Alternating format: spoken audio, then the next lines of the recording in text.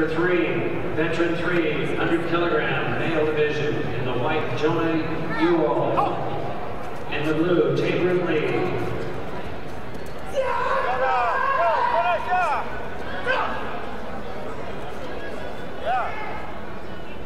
Go. That's it, on the side. Your winner, Matt Yeah.